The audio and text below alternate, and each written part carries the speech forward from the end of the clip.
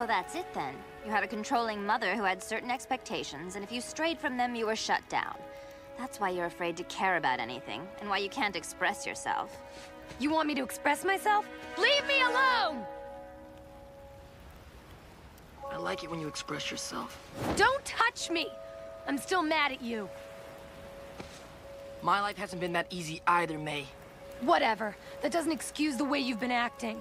Calm down, you guys. This much negative energy is bad for your skin. You'll totally break out. Bad skin? Normal teenagers worry about bad skin. I don't have that luxury. My father decided to teach me a permanent lesson on my face. Sorry, Zuko. I... For so long, I thought that if my dad accepted me, I'd be happy. I'm back home now. My dad talks to me. he even thinks I'm a hero. Everything should be perfect, right? I should be happy now. But I'm not. I'm angrier than ever, and I don't know why. There's a simple question you need to answer then. Who are you angry at? No one. I'm just angry.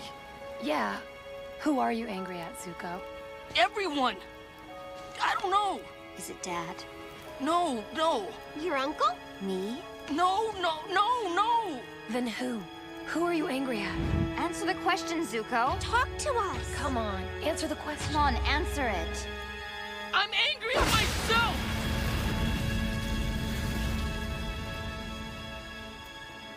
Why? Because I'm confused.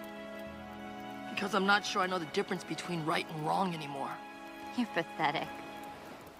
I know one thing I care about. I care about you. Well, those were wonderful performances, everyone. I guess you wouldn't understand, would you, Azula? Because you're just so perfect. Well, yes, I guess you're right. I don't have sob stories like all of you. I could sit here and complain how our mom liked Zuko more than me, but I don't really care. My own mother thought I was a monster. She was right, of course, but it still hurt. What Lo and Lee said came true. The beach did help us learn about ourselves. I feel all smoothed. I'll always remember this.